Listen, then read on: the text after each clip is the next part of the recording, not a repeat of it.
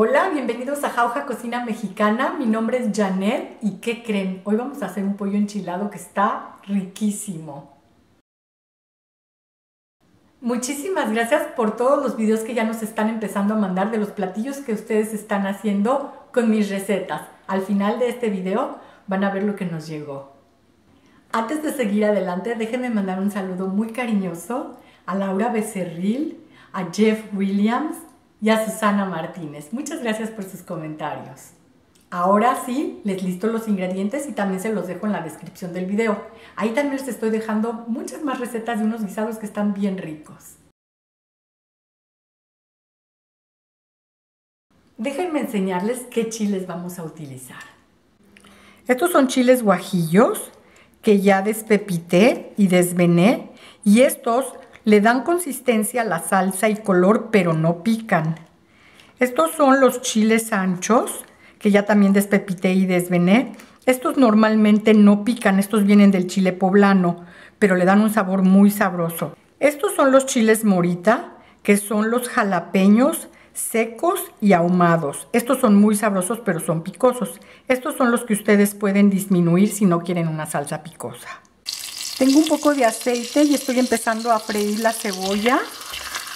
Cuando esta ya se acitronó, empezamos a agregar nada más los chiles morita para que con el aceite caliente empiecen a hidratarse. Y una vez que ya se inflan, vamos a agregar los demás chiles que los pasé a cortar en pedazos un poco más pequeños para que todos se frieran uniformemente. Los ponemos todos, bajamos un poco la lumbre y lo tenemos que mover constantemente para que los chiles no se nos tatemen. Y cuando los chiles ya están más suavecitos, entonces agregamos el agua y los dejamos a que se cocinen aquí para que se pongan bien blanditos para poderlos moler en la licuadora. Ahora que ya están suavecitos los chiles, después de 15 minutos a fuego bajito, vamos a apagarle y a dejar que se enfríen.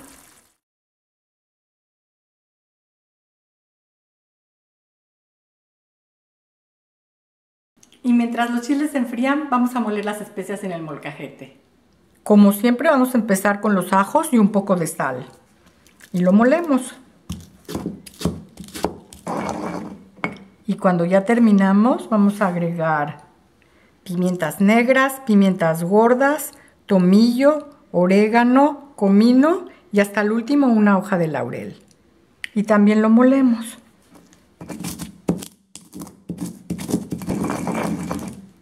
Y ahora la hoja de laurel. Las hacemos primero y la molemos. Y cuando ya quedó, vamos a echarle un poco de agua para recoger todo lo que molimos acá y lo reservamos.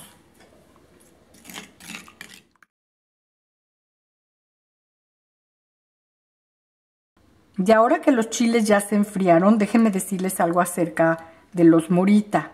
Para aquellos que no quieren que su pollo esté picoso, el morita ya está suavecito y es el momento de poderle quitar las semillas de adentro. Y ya con los chiles en la licuadora y el agua que sobró de la cocción de los mismos, vamos a darle un toquecito extra de sabor con un poco de jugo de naranja. Lo añadimos y lo molemos.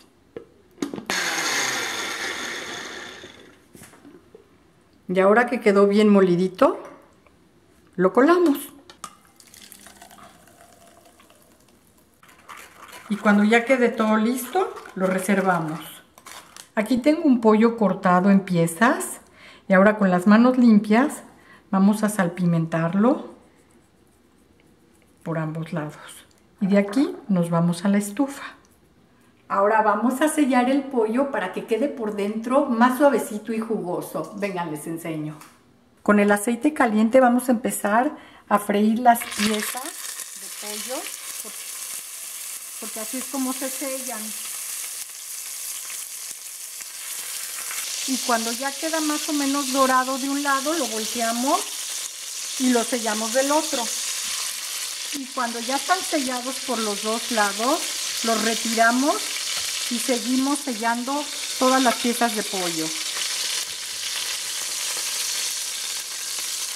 Cuando ya están listos, lo devolvemos todo a la olla